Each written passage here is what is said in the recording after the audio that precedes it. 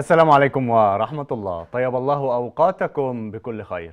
أهلا بكم أعزائي المشاهدين في حلقة جديدة من برنامج كلام في الطب. في حلقتنا النهاردة هنتكلم عن طفرة في عالم الطب. طفرة في عالم الطب يعني كلنا بنسمعه بالنهار وبالليل في كل التلفزيونات بنسمع عن الكركمين. الكركمين اللي بيمثل علاج لأمراض كتير جدا ومنها أمراض يعني داخلة علينا اللي هي الأمراض الفيروسية وبيعالج مشاكل المناعة. كركمين يعني ظهر في الفترة الأخيرة وكل الناس عارفاه. ويعني يمكن أغلبنا بيستخدم الكركم في البيت في الأكلات بنحطه على السلطة بنستخدمه في حاجات كتير جدا. في بيوتنا. الكركمين هو مستخلص ال- الكركم. ده اللي هنتكلم عنه النهارده يمكن ثورة طبية. الديلي ميل البريطانية آه، نشرت آه، 500 دراسة وبحث بتقول إن الكركمين بيقتل الخلايا السرطانية وبيوقف نموها. ده بالنسبة للخلايا السرطانية. لو اتكلمنا إن الكركمين بيعمل إيه في الكبد بيطرد السموم بيعمل حاجات كتيرة جدا. حكاية الكركمين حكاية كبيرة. خلينا في البداية نرحب بضيف حلقتنا النهارده اللي هيكلمنا عن حكاية الكركمين وبيجي منين والفرق بينه وبين الكركم. بصراحة الكركمين آه، اختراع وثورة في عالم الطب. خلينا نرحب بضيف حلقتنا النهارده دكتور أيمن البلتاجي استشاري الطب التكميلي ومدير المركز الدولي للطب التكميلي. دكتور حضرتك منورنا ومشرفنا. كركمين يا دكتور آه، ثورة وطفرة آه، يمكن في آخر أربع سنين آه، كل الناس بتسمع عنه. ليل ونهار موجود في كل الفضائيات بتتكلم عنه وبتتكلم عن الفوائد اللي بيعملها الكركمين والأمراض الكتير اللي بيعالجها. لكن آه، خلينا في البداية نعرف يعني إيه كركمين علشان الناس تبقى معانا في الصورة. الحمد لله والصلاة والسلام على رسول الله صلى الله عليه وسلم. عليه الصلاة آه فعلا آه الأيام ال- ال- القليلة الماضية أصبح الحديث عن الكركمين هوس فضائيات آه هوس للمرضى آه يعني طفرة علاجية فعلا آه هي رائعة عموما ولكن هو موجود من قديم الأزل يعني مش جديد ولكن تم استحداث ال- الكركمين لأن طبعا الكركمين مشتق من الكركم. والكركم طبعا كعشبة موجودة أو نوع من أنواع التوابل موجودة من قديم الأزل وبيستخدمها ناس كتير جدا طبعا. في اللي كان بيستخدمها بدون ما يعرف آه، القيمة بتاعتها هو كحاجة آه، بيستخدمها في المطبخ. آه، وفي اللي أدرك لبعض الفوائد الكركم وبدأ إن هو يتبعه كنظام علاجي يومي في كلتا الحالات آه، طبعا هو جاب نتائج رائعة مع ناس كتير جدا وطبعا أعلم ناس من سنوات كثيرة ما بيستخدموش غير الكركم. وبدأ لما ظهر الكركمين بدأوا يقبلوا على الكركمين كفصيل أو كخلاصة من خلاصات الكركم لما وجدوا من نتائج رائعة للكركم. يعني يا. دكتور آه، الكركم والكركمين إيه الفرق ما بينهم؟ الكركم آه، آه، آه، هو الأصل ده موجود. الكركمين دي المادة الفعالة الموجودة في جذور الكركم. يعني ده آه، مادة فعالة موجودة يعني أكثر فعاليه إذا كان الكركمين إذا كان الكركم هيجيب معايا نتيجة في مرض ما آه، آه، في خلال شهر الكركمين يجيبها في خلال أسبوع بفضل الله. فكده أصبح إن الكركمين ال- العامل الفعال الموجود والمؤثر في الكركم. يبقى الإقبال عليه أصبح أفضل بكثير على أساس إن أوصل لنتائج سريعة ورائعة ومرضية يعني أنا لو محتاج آخد كميات كبيرة من من الكركم علشان يثبت فعاليته آه، بالتالي أنا في الكركمين باخد كمية قليلة لأن هو مركز آه، كده أنا طبعاً. فهمت صح كده طبعا مم. يعني ال ال ال الطن الألف كيلو كركم مم. بيخرج 10 كيلو كركمين على حسب ال- الأبحاث الموجودة وعلى حسب فعلا ال- ال- اللي موجود في السوق ولكن طبعا هو مش موجود محلي هو طبعا بي- بي- بيستورد وبالتالي طبعا باجهزه معينة عشان يطلع منه الخلاصة الجميلة الرائعة اللي موجودة فيه. فال1000 كيلو طلع 10 كيلو. أصبح إن هو طبعا فعال فعال مليون المية بإذن الله. مم. طب يا دكتور يعني آه، لو حد هيعمل سيرش عن الكركمين هيلاقي آه، كتير من الأمراض بيعالجها الكركمين أو بيساعد على علاجها. لو حضرتك تكلمنا عن الأمراض الشائعة في مجتمعنا دلوقتي والكركمين ليه اثر علاجي فيها. إيه هي الأمراض دي؟ تمام. آه نلاحظ طبعا كلنا والأمر ده آه يعني كل الناس آه لمساه أمراض العظام زادت جدا في الأيام الأخيرة. سواء بقى الروماتيزم الروماتويد خشونة المفاصل خشونة الركبة مشاكل الغضاريف التهابات الأعصاب يعني مشاكل العظام بصفة عامة زادت جدا.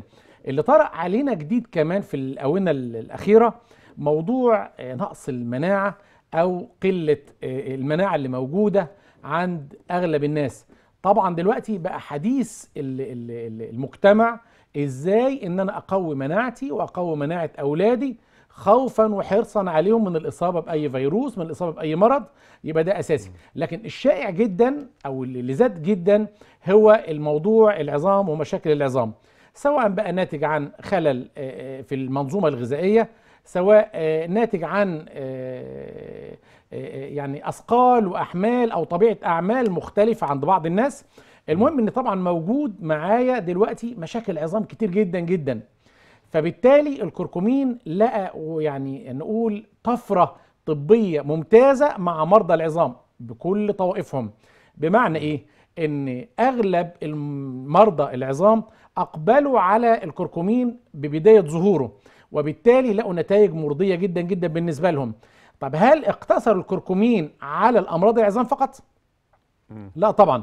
الكركمين آه، مفيد جدا جدا في أمراض كثيرة وأغلبها زي ما نقول آه، آه، إحنا قلنا أمراض العظام نلاقي طبعا الكركمين علاج فعال في القضاء على الخلايا والبؤر السرطانية الموجودة. طبعا الأورام زادت آه، من فترة برضه. ما نعرفش ال ال إيه الوضع اللي موجود بالنسبة للمنظومة الغذائية عند بعض الناس ولكن هنقول دايما قلة آه، أو قصور في جهاز المناعة اللي موجود. وصلنا لمشكلة كبيرة ألا وهي وجود أورام كتير ربنا يعافي كل مرضانا. وبالتالي الكركمين لقى إيجابية عالية جدا في الحد من انتشار الخلايا السرطانية عند ال- المرضى. فلو اكتشفنا الأمر ده مبكرا كانت نتائج مرضية. ولو إن ال- ال- المريض اللي قبل ما يكتشف إن عنده خلايا سرطانية واظب على تناول الكركمين أو تناول الكركم حتى قبل ما قبل ما يكتشف الكركمين أعتقد بإذن الله مش هيصاب بأي خلايا يمكن سرطانيه يا دكتور اللي بيدور أو اللي بيبحث عن الأمراض اللي بيعالجها الكركمين هيلاقيها كتير جدا. يمكن حضرتك قلت. من آه، أمراض العظام وبيقتل الخلايا السرطانية وبيتكلم ده كمان مش كده بس؟ الأمراض المناعية. هنكمل لكن خلينا ناخد اتصال آه، أستاذ رجب من الأقصر. مساء الخير أستاذ رجب. السلام عليكم. سلام ورحمة الله وبركاته. حياتي ليك يا فندم وتهادي لضيفك المحترم الدكتور وفريق الاعداد بالكامل يا فندم. الله أهلا. بيك أهلا بيك. ربنا يبارك فيكم يا فندم. أنتم بتنفعونا في حاجات كثيره يا فندم ربنا. يبارك في حضرتك. آه، إيه شكوتك إيه؟ شكوتي للدكتور. أنا عندي بنتي حامل في الشهر السابع وبيجي لها الأنيميا بتهبط خالص خالص. كل ولادة بدليل إن خسرت عيل قبل كده بسبب الأنيميا يا دكتور. تمام. فعاوز نصيحة يا ريت يعني كده وأنا معايا العظم برضه تعبان يا دكتور. الله يبارك فيك يا شيخ. ربنا يعافيك ويعفو عنك. حاضر. الله يبارك فيك. وعامل عملية طبعا أنا في توسيع في القنوات العصبية الشوكية وعندي غضاريف في العنقية وما قادرش أعملها. تمام. والله يبارك فيك يا ريت عايزين افاده منكم زي ما بتفيدونا في كل حاجة يا دكتور. الله يبارك فيكم يا ربنا رب يحفظك ويعافيك. حاضر على عيني. حاضر. ربنا يشفيك ويعافيك. يا عم رجب شكرا ليك. آه، الدكتور هيجاوب عليك دلوقتي. يمكن عم رجب آه، يعني سمعنا وإحنا بنقول إن الكركم بيعالج حاجات كتير جدا فبيشتكي أكتر من شكوى. تمام. فحضرتك شايف إيه في حالة عم رجب؟ بالنسبة ل...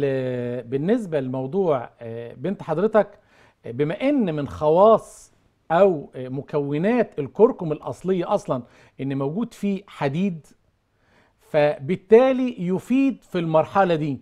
طيب هل يفيد في المرحلة الأولية من الحمل؟ لا نخشى هذا الأمر. يبقى يفيد في المرحلة الأخيرة منها اللي في الشهر السابع زي ما حضرتك ذكرت يبقى تناول الكركمين معاها في المرحلة دي زائد أكيد طبعا هي ماشية على مجموعة علاجات من ال- الأخصائي اللي بيتابع معاه هيفيد معاها جدا جدا بإذن الله تعالى. يبقى ده حاجة بالنسبة لبنت حضرتك. لبنت عم رجب. آه بالنسبة لحضرتك زي ما إحنا ذكرنا في أول حلقة إن طبعا الكركمين مفيد لكل أمراض العظام إحنا قلناها في الأول وهو الأمراض العظام من الأمراض الشائعة وبالتالي هو هيقلل مع حضرتك الالتهابات الموجودة الناتجة عن ظهور الغضاريف وضيق القناة العصبية وبالتالي ال- التناول المستمر معاه مع الراحة لحضرتك اللي موجودة بما إنه أصلا مضاد التهابات وبرضه فيه نسبة تسكين الآلام ممتازة وطبيعية بدون أي مشاكل على الكلية يبقى بالتالي هيدي لحضرتك نتائج فعالة بفضل الله تعالى مع المواظبة على الكركمين بإذن الله على الأقل مرة الصبح ومرة بالليل. إن شاء الله ربنا يكتب لك الشفاء يا عم رجب آه، دكتور الأمراض اللي بيعالجها الكركمين يمكن آه، مجموعة كبيرة من الأمراض حضرتك ذكرت بعضها عايزين حضرتك تكمل لنا باقي الأمراض اللي بيعالجها الكركمين تمام. آه الكركمين زي ما إحنا قلنا طبعا لحضراتكم هو الشائع أمراض العظام، الأورام السرطانية من الأشياء الجميلة أو أنا يعني أنا برحب بيها قوي في استخدام الكركمين أو بنصح بيها هي تقوية جهاز المناعة. طبعا إحنا بنمر آه، بمشاكل كتير من خلال آه، ضعف جهاز المناعة سواء عند أطفالنا أو سواء عند آه، الآباء والأمهات المراحل العمرية المتقدمة على أساس إيه طبعا إحنا عارفين إن السن له وضع معين كلما ازداد طبعا بدأت المنظومة الغذائية تقل عند سواء بقى الأب الأم الجد. آه، بالتالي بيبقى إصابتهم دايما بأي أمراض مناعية بتكون سريعة شوية. ربنا يعافيهم جميعا. فبالتالي لو إحنا واظبنا على إن الكركمين يكون أساسي عندنا أو عنصر أساسي معانا آه، يعني منظومة يومية في حياتنا أعتقد إن هو هيرفع معايا جهاز المناعة كويس جدا جدا. ده بالنسبة للمناعة. زائد طبعا إن الكركمين علشان وجود الألياف اللي موجودة في الكركم أصلا فبتعمل عملية تنظيم لحركة الأمعاء. نلاقي اللي طبعا هنقول السمنة اللي موجودة. لو نلاحظ كده يا جماعة مرضى السمنة تلاقي دايما عندهم مشكلة في القولون. ومشكلة القولون طول ما هي قائمة مفيش نزول في الوزن. نركز على الموضوع ده كويس. يبقى إحنا لو ظبطنا موضوع القولون والمعدة هنلاقي الدنيا كويسة جدا جدا مع مرضى السمنة. الكوليسترول الدهون الثلاثية مقوي للقلب آه، مقوي للنظر بيعالج أمراض كتير جدا جدا بيعالج بيعالج ال- ال- ال- أمراض ال- ال- الذاكرة والزهايمر. يعني يفيد معانا في عمليات نمو الأطفال. إن أنا يعني كعامل مساعد إن أنا يبقى عندي نمو لطفلي بدون ما ألاقي أي عوائق تقابله في الطريق. يعني يمكن يا دكتور هو حضرتك بتقول إن هو مفيد في علاج آه، ال- الزهايمر. هو طبعا الكركمين منشأه من آه، ال- الهند أو أو الصين آه، أو الدول دي يعني. ال- الهنود بيستخدموا الكركمين بطريقة منتظمة. ففي دراسات بتقول إن آه، كبار السن في الهند عندهم نسبة الزهايمر أقل نسبة بالنسبة للعالم العالم. كله. مظبوط. علشان هما بيستخدموا ال- الكركمين باستمرار وده تأكيد لكلام حضرتك. تمام. من الأمراض المناعية يا دكتور اللي بتصيب ال- الجسم وبيقضي عليها ال- الكركمين لو حضرتك تكلمنا عن الموضوع ده. الأمراض المناعية بينتج عنها آه، أو الخلل في جهاز المناعة بينتج عنه آه، الإصابة بمرضى السكر. الإصابة بالسكر. مم. الإصابة بالروماتويد. الإصابة بفيروسات الكبد ال A وال B وال C الإصابة باي فيروس عموما. طيب بالتالي لو إحنا آه، واظبنا على تناول الكركم أو الكركمين طبعا دلوقتي خلاص مش هنقول الكركم ولكن هنقول الكركمين عشان أشد فاعلية. يعني بدل ما هاخد في اليوم آه، آه، كم معلقة من الكركم لا ده أنا هاخد جرام من الكركمين كل يوم على الريق الصبح. يبقى ده كويس جدا بالنسبة لي. يبقى لو أنا عملت كده هيقلل من حدوث الأمراض المناعية اللي إحنا ذكرناها وبالتالي هينشط البنكرياس مش هيكون عندي آه، مشكلة في السكر أدي واحدة. الحاجة الثانية هيقلل ال ال الإصابة بالر- بالروماتويد عشان الناتج عن الالتهابات المفصليه يبقى هيساعد معايا كتير بالنسبة للروماتويد. هيعمل عملية آه، آه، حاجز بالنسبة للإصابة بالفيروسات الكبدية أو الالتهاب الكبدي الوبائي. يبقى أصبح معايا كده حاجة بسيطة إن إحنا بنستخدمها هتقيني من مشاكل كبيرة جدا جدا هصرف عليها كتير قوي وفي نفس الوقت قائمة بالنسبة لي. يعني معظم الأمراض المناعية تقريبا ملهاش علاج. لا هو الأمراض المناعية لا لها علاج. قال النبي صلى الله عليه وسلم ما خلق الله من داء إلا وجعل له الدواء علمه من علمه وجهله من جهله. صدق يعني النبي صلى الله عليه وسلم. صدق رسول الله صلى الله عليه وسلم. الروماتويد يا دكتور من الأمراض الصعب علاجها. كل حاجة لها علاج والروماتويد بيتعالج تماما بفضل الله. مم. يعني مش هنقول ما فيش إحنا بس الناس خدت آه، آه، طبيعة إن في أمراض أو بعض أمراض ما تتعالجش. يعني كان عندي حالات الروماتويد قريب مم. يقول لي إحنا كنا بنتعالج والدكتور قال الروماتويد ملوش علاج. إحنا بنعمل عملية تظبيط للروماتويد إنه يفضل موجود. لا طبعا. يعني أفضل أدي للمريض كورتيزون طول عمره عشان خاطر نسيب الروماتويد موجود؟ ما هو لا، ده في علاج موجود. يعني ده بروتوكول علاجي موجود يا دكتور اللي مظبوط. هو يعني بيحجم المرض لكن مش بيقضي عليه. تمام. ده ده اللي موجود اللي ده, هو اللي- ده اللي اللي متعارف عليه. تمام. حضرتك بتقول إن إحنا في بال- بالكركمين ممكن هو مش هيبقى الكركمين. بس. آه طبعا. مم. هو الكركمين هيبقى واحد من ضمن ال- العلاجات اللي موجودة ولكن واحد فعال أو علاج أساسي موجود. لأن أنا لو قويت جهاز المناعة معايا يبقى بدأت أقضي على الالتهابات الموجودة أو الالتهابات الطرفية اللي موجودة أو التهابات الأعصاب الموجوده الناتج عنها أصلا روماتويد. يبقى أصبح معايا دلوقتي إن ده عامل مساعد وفعال في نفس الوقت للقضاء عليه. جرعة بقى واستخدامه قد إيه في حالات ال- أمراض المناعة؟ في أمراض المناعة طبعا خلاص المريض أصيب بحاجة معينة ناتجة عن خلل في جهاز المناعة. بالتالي في الحالة اللي زي دي أنا ممكن أديله جرام في الصباح وجرام في المساء مع مثلا آه، كوب حليب ده لو المريض ما بيتعرضش معايا الحليب مع الحاجة دي أو مع كوب مية هيشربه. طيب ممكن آخده كمان كجرام واحد موجود على ال- الحليب أو المية مرة واحدة في اليوم. ده ده للمرضى اللي هم عندهم وسطية معينة ما عنديش حاجة مزمنة إن أنا أقدر أتفاعل معاها. يبقى كده كويس جدا معايا. اللي ما عندوش تماما وعايز إن هو يستمر عليه يوميا ممكن يوميا ياخد له بس مقدار ده. وفي طبعا بعض من ال- ال- الشركات نزلت الكبسولات مثلا. بس الكبسولة مقدارها قد إيه؟ موجود فيها إيه؟ أنا طبعا ما, ما نقدرش نقول في الكلام ده. لكن أنا عندي كركمين موجود حر قدامي. عارف أنا باخد مقدار قد إيه؟ ويقدر الأخصائي اللي موجود هيقول لي مقدارك قد كده في اليوم. يعني حضرتك بتقول مثلا 2 جرام ده بالنسبة لل... للي هو عنده الأمراض أصلا تمام. أو جرام للي عاوز يحافظ سواء كان ممكن هياخده جرام ونص وجرام ونص كمان آه آه يعني هياخدوا آه، كركمين حر بدون كبسولات تمام. أو لو الكبسولات فيها يعني حجمها معروف جرام أو 2 جرام تمام ياخد مرتين في اليوم مم. طيب يا دكتور آه، الأمراض المناعية حضرتك اتكلمت عنها الأمراض الفيروسية ويمكن إحنا دلوقتي بتهاجمنا مجموعة فيروسات صعبة جدا فهل الكركمين فعال في الأمراض الفيروسية آه طبعا. هو طبعا آه، آه، في مواد مضاده للأكسدة وهو كمان يعني يعتبر انتي فيروس كمان وبالتالي لو واظب عليه الفرد العادي وبركز على دي قوي سواء لك أو لأولادك ما عنديش مشكلة هو وما عنديش أي أمراض لو واظبت عليه يوميا أعتقد بفضل الله هيكون وقائي جدا جدا جدا لعدم الإصابة بأي أمراض مناعية. دي حاجة. معنى إن هو انتي فيروس موجود أو مضاد أكسدة بالتالي هيهاجم أصلا أي فيروس موجود مع المواظبة عليه في حالات الإصابة بأي فيروس موجود. يبقى دايما بنصح مرضى الكبد يا جماعة اولا هو مركب آمن مليون في المية مفيش أي side effect تماما.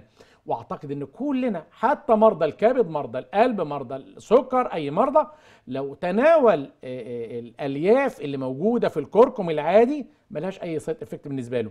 طب لو اخد بقى ال pure والخلاصة اللي موجودة اللي هي الكركمين أعتقد هيكون ممتاز بالنسبة لك. على الأقل وأنت مريض هيقوي معاك جهاز المناعة تبدأ تهاجم الفيروسات اللي موجودة عندك وتبدأ تقضي عليها أو تقوى عليها بفضل الله تعالى.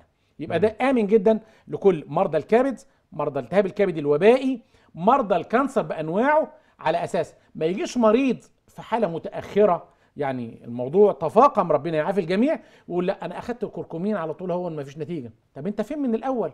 ما أنت عرفت بقالك شهرين ثلاثة إن في مثلا كانسر موجود ولا حاجة بتبدأ تاخد منه. هيساعد الأطباء اللي بيتابعوا معاك على إن يقوي معاك جهاز المناعة يبقى بالتالي قدرت تهاجم المرض اللي موجود. يعني دايما لو استخدمنا ال- العلاج من البداية أو آه، زي ما بنقول الوقاية خير من العلاج لو مظبوط. بدأت إن أنا أعالج نفسي بإن أنا أقي نفسي من الأمراض ده أفضل. دكتور خلينا ناخد الاتصال آه، آه، منا من القاهرة ونكمل كلامنا مع الكركمين. يمكن الكلام مع الكركمين آه، تقريبا مش بيخلص لأنه حاجة طفرة معجزة طبية معجزة علاجية آمنة جدا وملوش أي آثار جانبية. خلينا ناخد الاتصال. أستاذة منا مساء الخير.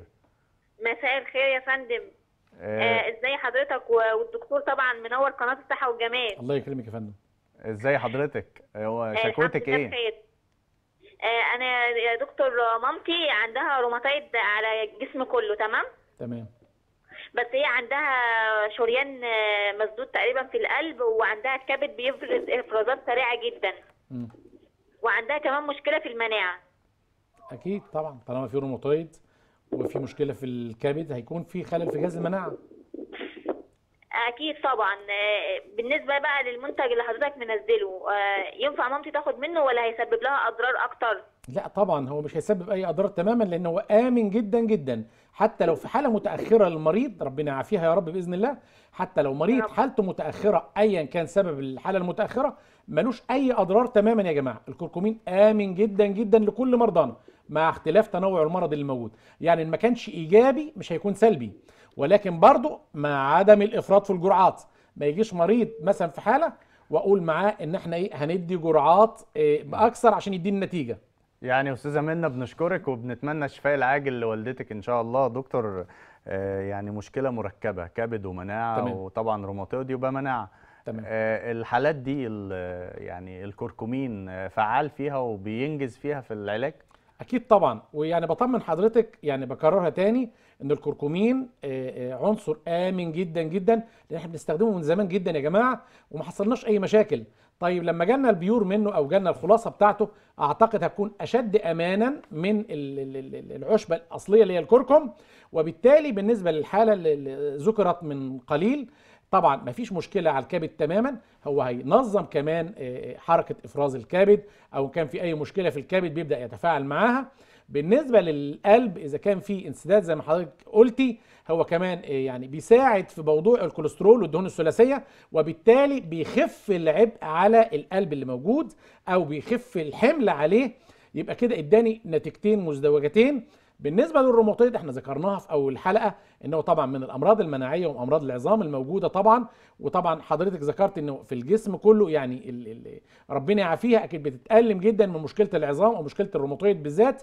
يبقى نواظب على الروماتويد بالنسبة أصلا كمان للمريض الروماتويد نواظب على إن ناخد من الكركمين مرة الصبح ومرة في الليل هتكون نتيجة ممتازة بإذن الله زائد طبعا العلاجات اللي هو بيقوم بيها زائد الراحة المستمرة زائد يعني ال ال ال الأكلات أو النظام الغذائي المتزن لمثل هذه الحالة أعتقد هنلاقي نتيجة ممتازة وهتبان مفعولها سريعا وعلى الأقل في أسبوع بإذن الله.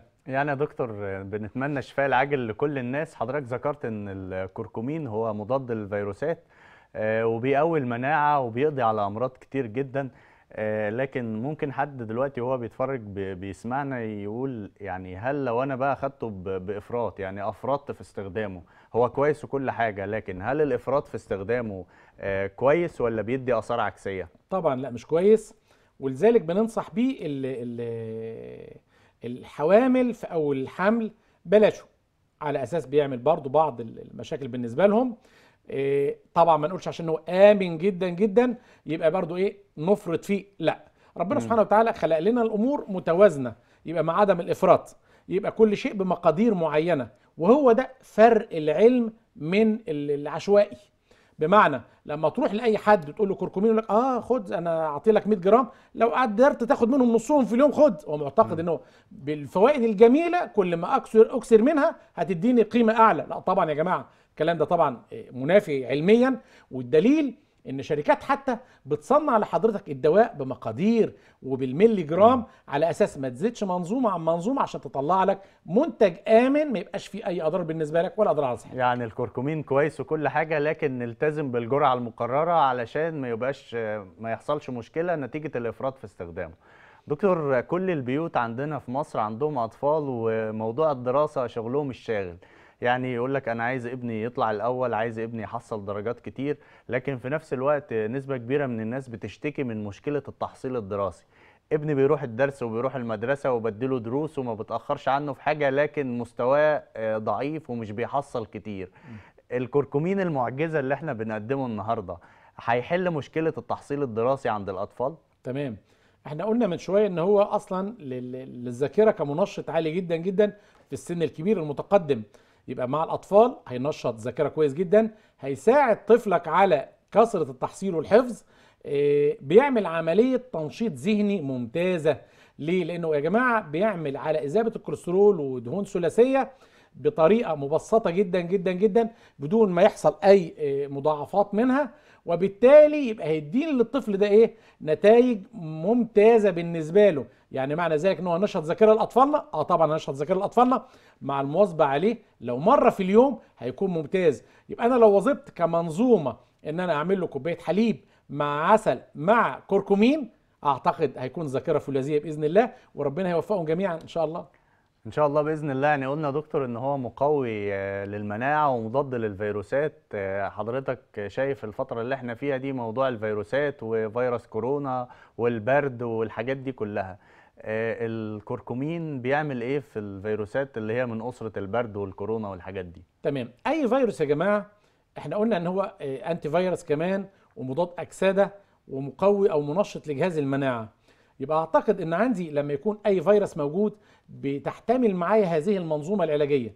إن أنا اقوي جهاز المناعة إن أنا أهاجم الفيروس اللي موجود إن أنا أعمل برنامج أو منظومة غذائية على أساس إن هي تقضي معايا على الفيروس. ايا كان هو مين؟ يعني الفيروس ده إيه؟ سواء فيروسات كبد فيروسات إنفلونزا آه، أي فيروسات موجودة. طيب الكركمين أصبح معايا إن هو كمقوي لجهاز المناعة ومضاد فيروسي ومضاد أكسدة يبقى بالتالي هيديني نتيجة ممتازة معايا في هذا الأمر. طيب ده ده في حالة إيه؟ إن أنا مصاب بفيروس فعلي. إن أنا أبدأ فيه. يعني هيبقى عامل مساعد معايا. دايما الجماعة اللي عندهم نزلات برد آه، نقول لهم اشرب سوائل كتير واشرب حاجات دافية كتير. طب أنا ليه يا جماعة إن أنا أفضل لغاية ما أصاب بالأمر ده؟ هل معنى ذلك إن في ناس ما بتصابش بنزلات برد؟ آه في ناس ما بتصابش بنزلات برد. ما بتصابش بالتهاب كبدي وبائي ما بتصابش بأي حاجة بفضل الله. ربنا يعافي الجميع ويكون الكل كده. طب لو أنا عملت ده يبقى الوقاية زي ما حضرتك ذكرت الوقاية خير من العلاج. يبقى أنا لو هقوم بمنظومة بسيطة من تناول الكركمين في اليوم أعتقد هتبقى معايا وقاية إن أنا أصاب. خاصة زي ما حضرتك ذكرت إن إحنا دلوقتي في أعراض فيروسات موجودة ومشاكل وداخلين كمان على على فصل الشتاء. فطبعا نعمل إيه؟ طب ما نعمل وقاية. ليه؟ بدل ما نقعد في الفرشة أسبوع واتنين وعندنا مشكلة لا ده في ناخد فيتامينات إيه ناخد مضاد حيوي إيه وحاجات. طبعا الجماعة بيبالغوا قوي اللي عندهم برد بيبالغوا قوي في الموضوع ده. أنا آخد مضاد حيوي عشان البرد طب أنت بتاخد مضاد حيوي البرد ليه؟ طبعا. طب أنا بدل ما أديك مضاد حيوي ده antibiotic طبيعي. ده مضاد حيوي معاك. ومضاد فيروسي ومضاد أكسدة يبقى أنا عملت لك منظومة كاملة بفضل الله وأنا مش عملتها. أنا يعني بنقول إيه وصلناها لك وربنا سبحانه وتعالى عملها لنا. ولكن إيه إدالك منظومة علاجية ومقننة. يعني كانت شائعة في القدم وكانت بتستخدم إلى الآن عادي عشوائي. أقدر أشرب من الكركم كيف أشاء أحطه على التوابل بتاعتي أعمل منه أي حاجة ده موجود. طيب قنن هذا الأمر دلوقتي وأصبح إن عندي كركمين بمقادير معينة. طب ما ناخد منه. حاجة بسيطة وجميلة وبيور وكويسة قوي بدل ما أقعد آخد كام معلقة في اليوم وأبدأ أتضايق من الألياف اللي موجودة معاه وامتصاص غريب وامتصاص بطيء وكده. لا طب ما ناخد حاجة بسيطة جرام أو جرام ونص في اليوم هيديني وقاية جميلة جدا. هقضي فصل الصي... فصل الشتاء آمن بفضل الله. أنا واسرتي ما عنديش فيروسات ما عنديش نزلات برد أنا طبيعي.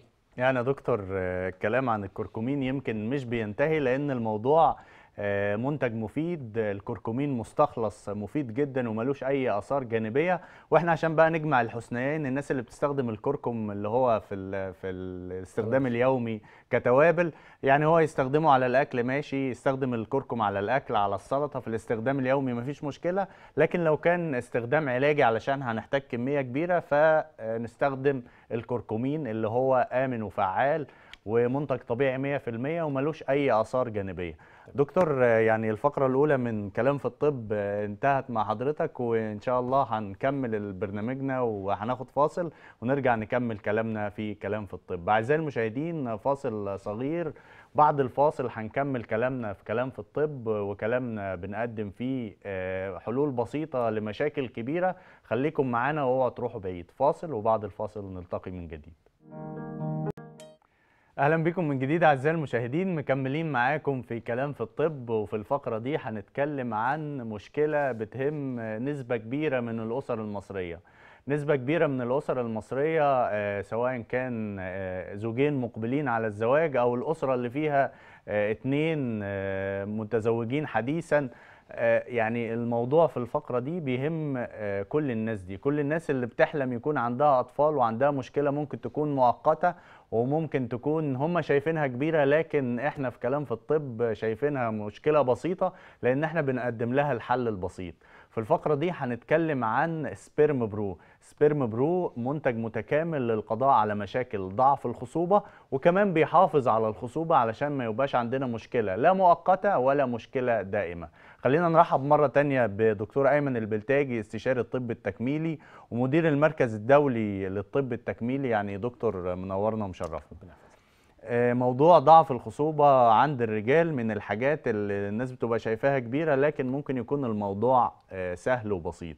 خلينا في في البداية نتكلم عن الحاجات اللي بتسبب أصلا ضعف الخصوبة. يعني الناس تبقى عندها مشاكل إيه آه، بتأدي في النهاية لضعف الخصوبة. تمام. طبعا موضوع ضعف الخصوبة آه، بقى برضو يعني إيه آه، موجود أو ظاهرة موجودة يعني بتمر كتير يعني. كان قبل كده الموضوع كان بسيط قوي دلوقتي ممكن بقى عشان كثرة ال- ال- ال- الأعداد وتزايد المستمر فبدأ آه، نلاحظ الموضوع ده وبدأ الإقبال عليه. ما كانش يعني دلوقتي قبل كده آه، كان في ناس تنتظر سنتين وثلاثة من الزواج ويبدأ مم. يبحث عن الموضوع ده. دلوقتي بدأ من شهر أو شهرين بعد الزواج بدأ يبحث أنا لسه ربنا ما سهلش ليه يعني. فطبعا المفروض ان يعني ناخد بالنا إن في عوامل تغير بتحدث بالنسبة لل- للزوجة من فترة إن هي كانت آنسة وبقت آه، مدام وفي اضطرابات معينة وفي اختلاف في ال- ال- الدورة الشهرية في مشاكل كتير بت- بتطرأ. فما نبدأش بقى إيه جري من الوقت ده ولكن الناس من ال- ال- اللي شافته بدأوا يبحثوا عن الموضوع ده بسرعة. عايز أوجز فيه عايز أشوف أنا إيه المشكلة اللي عندي أنا متأخر ليه كده يعني. آه، بعد ما بيبدأ آه، بالفحص طبعا في أطباء بتجيب من الآخر وتعمل إيه؟ على طول للزوج تحليل سائل منوي يعني بسرعة على أساس يشوف إيه مشكلته الأول ودي طبعا آه، مهمة جدا بالنسبة للجميع. يبدأ يشوف التحليل نلاقي فيه مشاكل كتير. ال- الشائع بقى واللي أنا عايز يعني أقول له لحضراتكم ده مش عيب. يعني لو أنا آه، ربنا ما منش عليا بذرية مش عيب ومش حرام ده أمر ربك. في نفس الوقت لو عندي مشكلة عندي عدد آه، بسيط عندي حركة فيها مشكلة عندي آه، تشوهات عندي أي مشكلة موجودة مش حرام. ما تقولش لا ده أبويا مخلف وإخواتي مخلفين يعني دي مشكلة. لا. وفي مشاكل أسرية كتير بتحدث من جراء هذا الأمر. بمعنى إيه؟ إنه لا أنا مش هحلل. أنا الحمد لله أبويا مخلف كتير وأخويا مخلف كتير. لا مش كده خالص. العلم اتقدم والدنيا اتطورت. المفروض دلوقتي كل شيء نرجعه للأساس الطبي والأساس العلمي المهم بالنسبة لك. فنلاقي عند آه، أغلب الأزواج آه، مشكلة في ضعف الخصوبة. تنتج أو تنجم عن إيه بالنسبة له؟ نلاقي مفيش عدد صفر. آه، عدد بسيط. أنا عندي مثلا نورمال موجود معايا آه، من 20 مليون حيوان منوي يبدأ يتم معايا أو نتكلم في مسألة ال ال ال الاخصاب يعني. طيب ما عنديش عدد موجود عندي عدد بسيط. يبقى دي مشكلة. عندي حركة ضعيفة عندي حركة ما فيش تماما.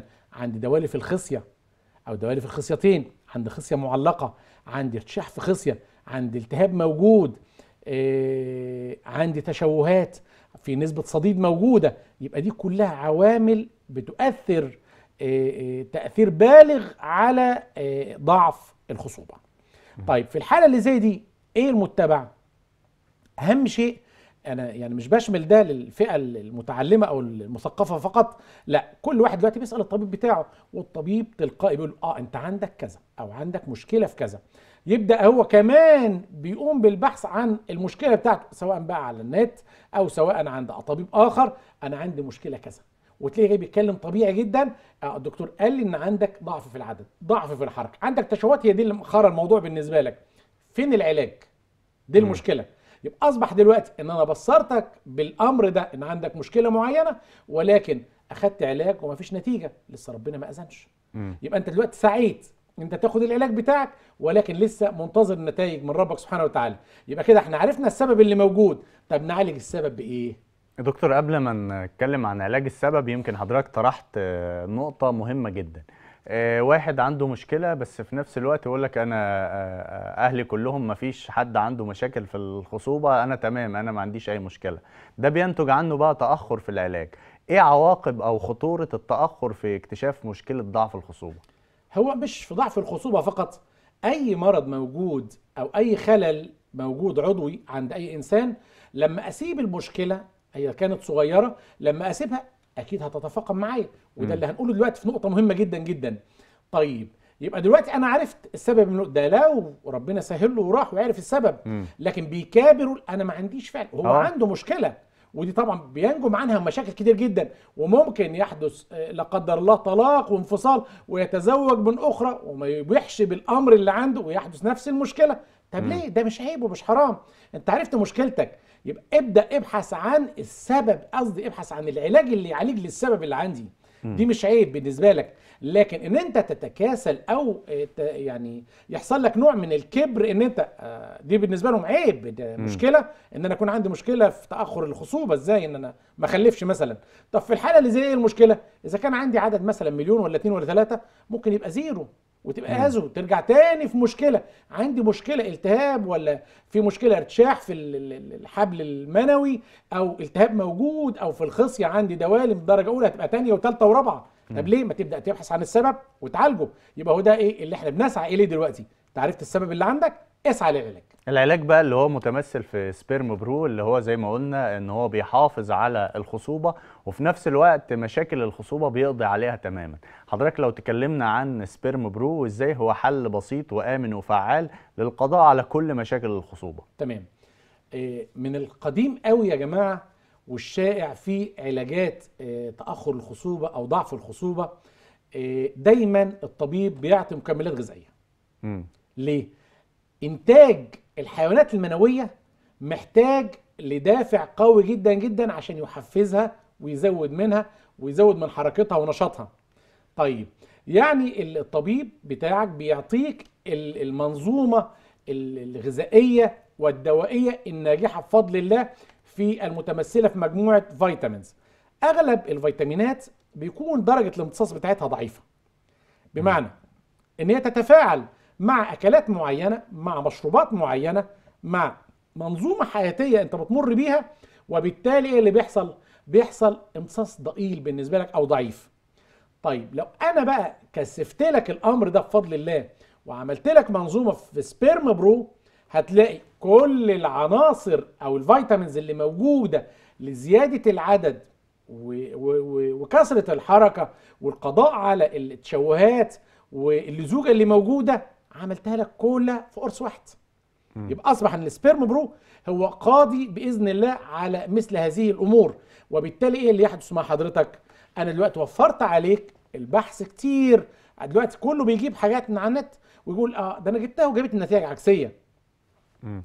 على فكرة مش كل اللي أنت تبحث عنه وتلاقيه يبقى ده علاج قاطع. ليه؟ أنا بنقل من ده وده بياخد من ده وده بياخد من ده. يعني ممكن تتوارث وتت يعني وتتناقل ما بين معلومة هي من الأساس خاطئة وبالتالي كل الناس تستخدمها وتكون خاطئة. والله كتير بيجوا يقولوا إحنا جبنا وصفة من على النت للشعر سقطت الشعر. جبنا كذا عملت كذا. يعني لا. يمكن يا دكتور الموضوع الخصوبة وموضوع ضعف الخصوبة مش محتاج إن أنا أجرب حاجات يمكن يعني يمكن تنفع ويمكن ما تمام. تنفعش. يعني إحنا بنقدم حاجة آه. تحت إشراف طبي آه ما يعني مفيش داعي إن إحنا نلجأ بقى للوصفات وفي الآخر آه الوقت مش في صالحنا. لأن إحنا قلنا إن التأخر أصلا في العلاج ممكن يفاقم المشكلة والمشكلة آه تكبر. يعني دكتور سبيرم برو زي ما قلنا هو بيحافظ على الخصوبة وفي نفس الوقت بيقضي على كل مشاكلها. دور سبيرم برو في الصحة العامة والنشاط العام بالنسبة للرجال. تمام. هو بمعنى إن إحنا نقول إن سبيرم برو مجموعة أو مكون من مجموعة vitamins طبيعية أعتقد مفيش فرد فينا إلا ومحتاج مجموعة الفيتامينات اليومية بالنسبة له. طبعا أنا مش هقول للأطفال مش هعطيه للأطفال عشان هنقول طب ما الأطفال عايزة فيتامينات. لا طبعا مش هديه في السن ده ولكن أنا بقول لل- للمرحلة العمرية اللي هي تتراوح من مثلا ال 20 سنة أو من 18 سنة لما أعلى فده طبعا بالنسبة له محتاج مجموعة فيتامينز طيب يبقى أنا حافظت عليه كمنظومة دوائية يومية هيديني الطاقة اللي أنا عايزها هيديني الفيتامينات اللي أنا الجسم محتاجها اليومية وبالتالي أنا كده ده بعيد عن موضوع الخصوبة أو مشاكل ضعف الخصوبة. ده أنا بتكلم فيها عن ال- الأفراد العاديين اللي محتاج فيتامين معين. خايف يشتري فواكه معينة تكون فيها هرمونات يكون فيها كيميكالز موجود تعمل له مشكلة. لا ده أنا عندي قولون ده أنا باخدش حاجات ده أنا أكلت فاكهة عملت معايا مشكلة وانتفاخات طيب أنا آخد ال Sperm Pro هيقضي معايا على آه، مشكلة نقص ال vitamins للفرد الطبيعي. هاخد ال Sperm Pro هيقضي معايا على مشكلة العدد والحركة بالنسبة للي عندهم ضعف في الخصوبة. هاخد ال Sperm Pro هيقضي على التشوهات بإذن الله. هاخد ال Sperm Pro هيعمل معايا منظومة غذائية متكاملة ومتوازنة لل- للفرد اللي هو عنده ضعف في الخصوبة ومحتاجها. يبقى أصبح إن ال Sperm Pro هيديني طاقة ونشاط وحيوية كفرد عادي. Sperm Pro هيعالج معايا حالات ضعف الخصوبة بكل أنواعها. دكتور يعني في يعني الوقت يمكن انتهى لكن عايز قبل ما نختم الحلقة نتكلم عن العادات اللي لازم نقلع عنها علشان Sperm Pro يبقى فعاليته أكبر. تمام. آه، آه، اما اعالج يا جماعة السبب؟ دايما ننظر إلى المسبب. إيه اللي إداني الأمر ده؟ الطبيب بتاعك بيقول لك إن أنت عندك مشكلة في التشوهات نتيجة عن أو ناتجة عن اللزوجة أو ناتجة عن الصديد اللي موجود. ما تتناولش ال ال ال الأشياء اللي فيها ملح زايد الحوادق والمخللات الحاجات اللي زي كده. طيب عندك مشكلة دوالي في الخصيه ما تقعدش كتير أو فترات طويلة وابدأ حرك نفسك علشان خاطر نبدأ نعمل أو تنشيط وتدليك دوري مثلا لمنطقة البروستاتا أو للخصيتين عشان المنطقة دي ما تسخنش معايا وما تحصلش معايا مشكلة فيها. اقلع عن التدخين عشان التدخين عامل لك لزوجة. ما تكبرش علشان ما يتفاقمش معاك السبب. ابدأ اقلع عن ال- المشاكل اللي طبيبك يقول لك ابعد عنها وبالتالي مع Sperm Pro يبقى أنت قضيت على المشكلة أو على السبب الرئيسي اللي وصلك للعرض اللي موجود. دكتور يعني عايز نصيحة أخيرة لكل الناس اللي هتستخدم Sperm Pro. إيه أنا بنصحكم بإذن الله Sperm Pro على حسب النتائج اللي جات لنا والناس اللي ربنا سبحانه وتعالى من عليها. Sperm Pro إيه مكمل غذائي ممتاز آمن 100% بدون أي side effect للفرد العادي والفرد اللي عنده ضعف في الخصوبة. عليك ب Sperm Pro. يعني دكتور أيمن بلتاجي استشاري الطب التكميلي ومدير المركز الدولي للطب التكميلي. حضرتك نورتنا وشرفتنا. شكرا. معلوماتك دايما قيمة وبنستمتع بيها وكل مشاهدينا بيستمتعوا بمعلومات حضرتك. شكرا. شكرا لحضرتك. أعزائي المشاهدين زي ما شفنا في كلام في الطب النهارده آه، Sperm Pro هو منتج آمن وفعال لتحقيق الحلم. حلم الإنجاب اللي كل الناس بتبقى عايزة يكون عندها أطفال تفرح بيهم ويفرحوا معاهم. آه، يمكن المشكلة ممكن تكون وقتية لو حد خلف مرة وعايز يخلف تاني مش عارف يخلف Sperm Pro آه، فعلا هيقضي على المشكلة الوقتية دي. وكمان لو عنده مشكلة من البداية إن هو مش بيخلف عنده مشكلة في آه، مشاكل في ضعف الخصوبة إن شاء الله هيقضي تماما على مشاكل ضعف الخصوبة. Sperm Pro بيحافظ على الخصوبة عند الرجال وبيقضي على كل مشاكلها. دي كانت حلقة النهارده وإن شاء الله حتى نلتقي في حلقة قادمة. تقبلوا تحياتي.